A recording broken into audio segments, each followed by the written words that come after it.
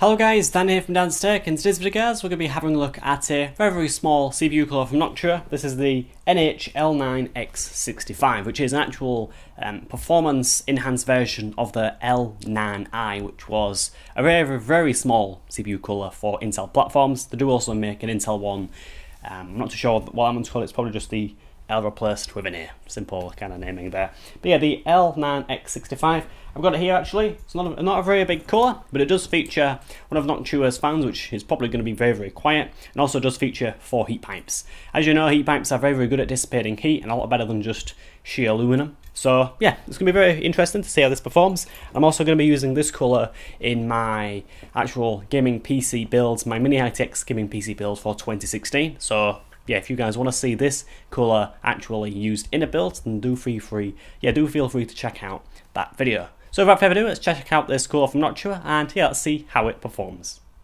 To get started as always, as for a quick unboxing, inside the box represented with the accessory box, this contains all the usual Noctua accessories including very solid metal pieces for installation onto both AMD and Intel platforms. Other accessories include the NT-H1 thermal compound, a low noise adapter, a metal Noctua case badge and a screwdriver needed for the installation. You'll also find three instruction manuals, of which all make the cooler look very easy to install on all platforms it supports, with AMD platforms and Intel's LGA 2011 platform, including only a few steps, making this cooler look like child's play to install.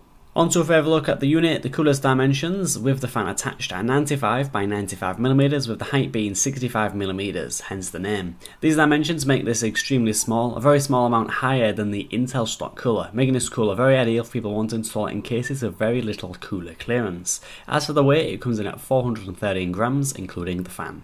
The heatsink features a tightly packed fin stack with four 6mm copper heat pipes passing through the heatsink. On the bottom of the cooler you find a somewhat reflective shiny base and therefore will mean it'll be easy to remove thermal compound in the future.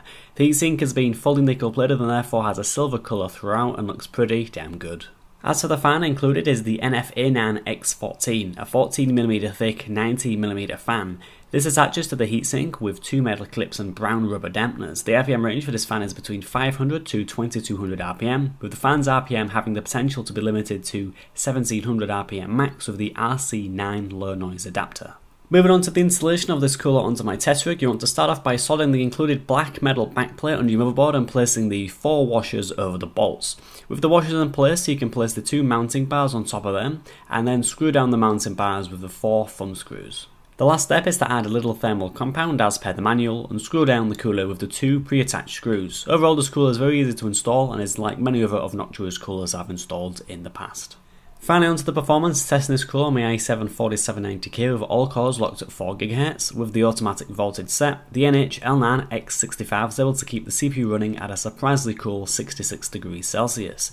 This was while of course running my usual benchmark of rendering out the pretty intensive 2016 How to Build a Gaming PC guide in Adobe Premiere Pro CS6. As for the performance of the cooler with the low noise adapter attached, the temperature increased to 69 degrees, making this cooler of course not perform as well, but did decrease noise levels by a small amount. Although this cooler is definitely not meant for overclocking at all, I wanted to see how it fared with my 4.4 GHz 1.25 volt overclock. The temperature recorded was a very hot 89 degrees, very warm compared to many dual tower coolers we've tested in the past, however a lot better than the two Intel stock coolers, of which both failed this test at 100 degrees, causing the CPU to thermal throttle. Overall, this cooler did a fantastic job at keeping the i7 4790K cool and does justify the cost when you take into consideration a small amount of noise this cooler does make at stock speeds and how small the cooler actually is, even when compared to the traditional low profile cooler with a large fan and a horizontal fin stack. Anyhow, let's roll the outro and conclude on the NH L9X65 cooler from Noctua. So guys, oh yeah, there are the benchmarks and in general my review of this cooler. In general it does perform very very well and I am actually pleased with the cooler and for it coming in for about £35 here in the UK, it's actually not bad and when you consider the performance of this cooler compared to some low profile coolers that are actually a little bit bigger and do just say incorporate the, the more traditional fin stack, this cooler is not bad. It isn't bad at all and I think um, when you consider the noise of this fan that Noctua have strapped to it it's very, very good. Um, and if anything, probably one of the smallest coolers um, when you consider the performance you get from it. So the performance you're getting when you consider the in incredibly small size, I think is excellent. And one of the main reasons that today I'll be recommending it. So guys, thank you very much for checking out this video on the L9, um, I'm just gonna NHL9X65, quite a long name, but yeah, would recommend it, and yeah, thank you for checking out the review.